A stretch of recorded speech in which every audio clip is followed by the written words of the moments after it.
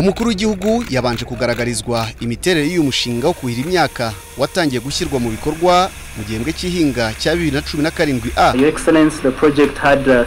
Ni umushinga wubatse kuri hegitari igihumbi n'ijana na mirongo irindwi n'eshatu. Yagaragarijwe uburyo bakogota amazi mu kiyaga cya nasho hifashishijwe imashini kabuhariwe maze aya mazi akuhirwa mu myaka. Umukuru w'igihugu asaba abaturage gufata neza ibikorwa remezo no kurushaho kubibyaza umusaruro. Ku bamaze gutera imbere yabasabye kuzamura na bagenzi babo bakiri inyuma. Everyone has, has definitely seen a big change, big improvement. buri wese aribonera impinduka nini zabayeho. Guhera ku muturage wezaga igice cya toni z'ibigori kuri hegitari imwe uyu munsi akaba ageze kuri toni eshanu. Abandi bashobora gusarura toni icumi ubu turareba uburyo n'abandi bakiri inyuma bashobora kuzamura umusaruro wabo. Aho bagisarura toni imwe n'igice abandi ebyiri batera intambwe nabo bakagera aho abandi bageze. Birasaba kubegera tukabagira inama tugakorana tukanabereka uko bakwiye gukora n'icyo babura kandi bagifitiye ubushobozi ngo nabo babashe kugera ku musaruro ushimishije bagere kuri toni enye toni eshanu kuzamura kugera kuri toni icumi. ibyagezweho ni ikimenyetso kigaragaza ibishoboka buri wese yabigeraho. It is only showing what is possible that everyone can do. Uyu mushinga watangijwe na guverinoma y'u rwanda ku bufatanye n'umuryango g buffett foundation. Ufite agaciro ka miliyoni mirongo itanu n'enye z'amadolari y'amerika umuyobozi w'uyu muryango howard g buffett yagaragaje ko yatunguwe n'uburyo abaturage bamaze kubyaza umusaruro uyu mushinga. Aha aragaruka aho igitekerezo cy'uyu mushinga cyaturutse n'uburyo abaturage babanje kucyakira. Ndibuka mu myaka itanu ishize ubwo nari hano ndi kumwe na bamwe mu bari hano. Twahuye n'abahinzi. ndibuka dutangira kuganira bari nka makumyabiri. Bagenda biyongera bagera kuri mirongo ine. mirongo itanu gutyo. hanyuma mbasobanurira ko twifuza kuzana ubu buryo bwo kuhira imusozi hano inashu mbona ntibumva rwose ibyo navugaga. nkuramo ipadi yanjye mbereka amafoto. ariko bakomeza kundeba bibaza niba ntataye umutwe. hanyuma mbabwira ko tugiye kuzana ikoranabuhanga aho ukanda ahantu imvura ikagwa. Noneho babona ko nataye umutwe neza neza. nyuma turaza turatangira. Benshi ntibizeraga ko byakunda.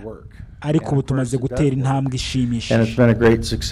Abaturage batangiye kubyaza umusaruro uyu mushinga bavuga ko bagiye kurushaho kwegera bagenzi babo kugira ngo barusheho kubazamura.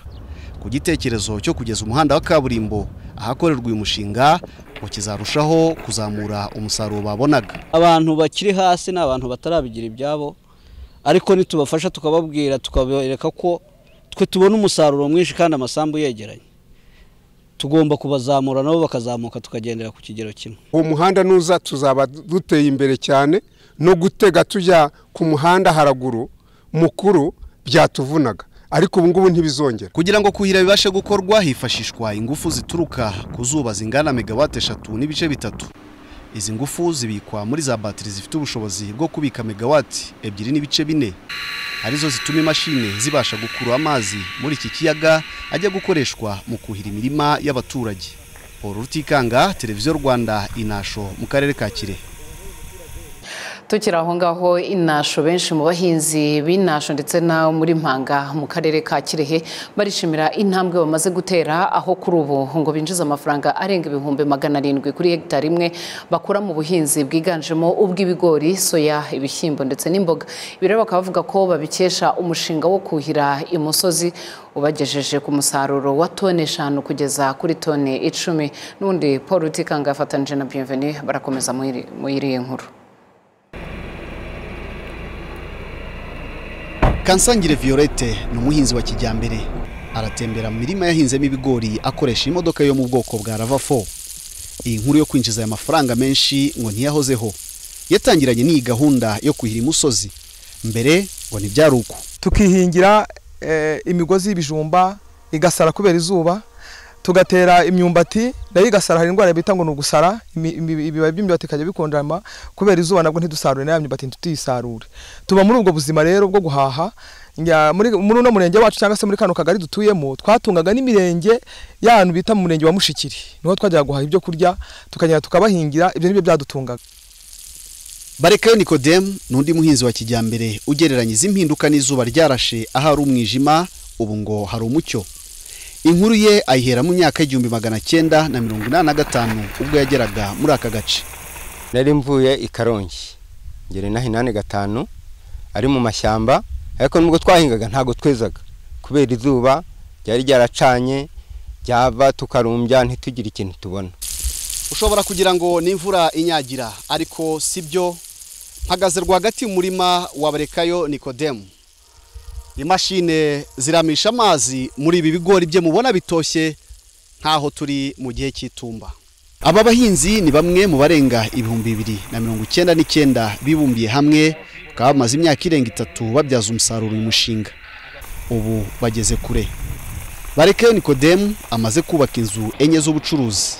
Mu mwaka ashobora kwinjiza miliyoni zirenga icumi. Ni mu gihe kansangire violette amaze kugeza kuri byinshi. Birimo imodoka yo mu bwoko bwa fuso na dayihatsu zimufasha muri uyu mwuga we w'ubuhinzi. Amaze no gutera imbere mu bworozi bumufasha kubona ifumbire.